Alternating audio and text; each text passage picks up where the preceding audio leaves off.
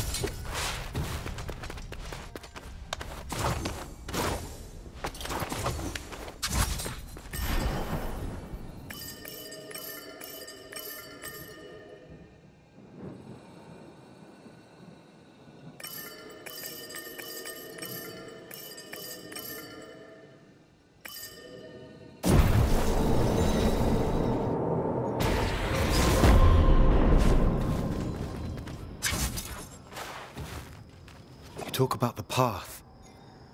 What is mine? One's path is like the sacred cypress of Abarkuh. A single stem, one life, has brought you to this sunrise. Along your path, the past has already been carved. It's unique.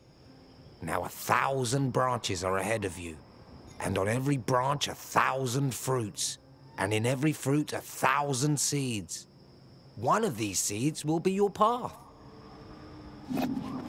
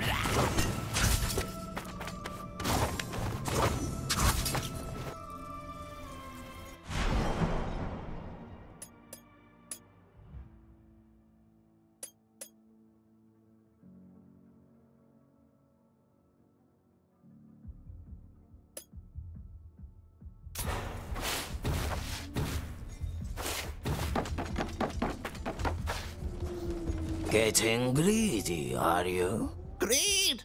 I wanted to see if the bird was still here. The bird! How long were you and your men in the sunken harbor before the curse? Eh, The bird found the riches, so it was my plan to stay as long as it took. It was only a short while before I spotted warships on the horizon. The ones that are trapped out there? Very same. Some under the banner of trade ships. But they couldn't trick me. None of my men listened to the call to weigh anchor. And we were trapped. Still trapped as time spins and treasure calls. You may be here for some time yet. We may all be. Tremors run through the ground. The bird senses it. More treasure to find, perhaps. This is something else. The curse is restless. Season freeze! It can't really know if the seas will open again. Out to sea! Free! If so, you and your men will set sail again? No friends! Bird is correct. I have my own traps. When the sea opens, there will be treasure for only me. Isn't that right, Bird? Always more!